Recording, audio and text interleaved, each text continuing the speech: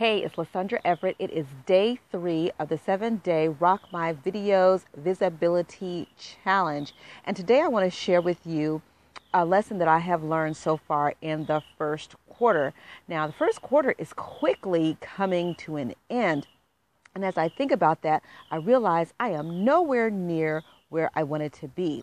So, if it's one thing I have learned this quarter, is to be flexible you know, as we uh, put our uh, desires out into the universe and allow the law of attraction to work. And, and the way that this works is you really put out to the universe the things that you want to achieve. You put out the what, and the universe gives the how. So it really makes you become more aware of the opportunities available to you.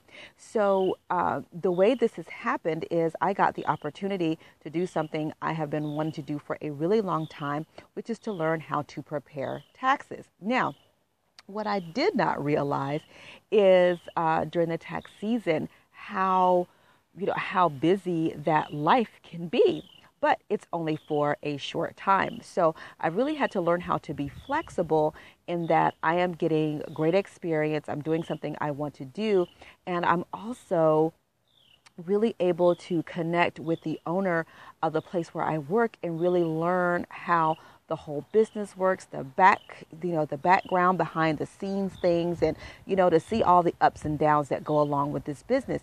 Now, um, as it goes, you know, this, again, this is something I've been wanting to do for a long time, and it really uh, helps me into and my family in our future planning. You know, we're in the military, but we're coming up on the end of the career, my husband's career. So we got to find something to do, and so this is something that can be a viable option for us.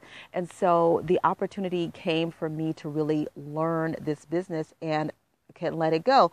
So I can't worry about the how, just the what, and this really fits into my plan. So I have learned to be very flexible in this, and that there are some other things that I want to do.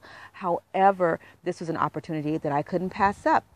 So be flexible in your goals. Don't worry about the how, just worry about the opportunities and taking advantage of each one. So that's it for me. Flexibility, guys. And listen, head on over to my new membership site, www.abetteryouprint.com. We're still hanging up the curtains and everything, but there's great stuff going up over there, and I'd love to see you there. All right, see you next time. Bye.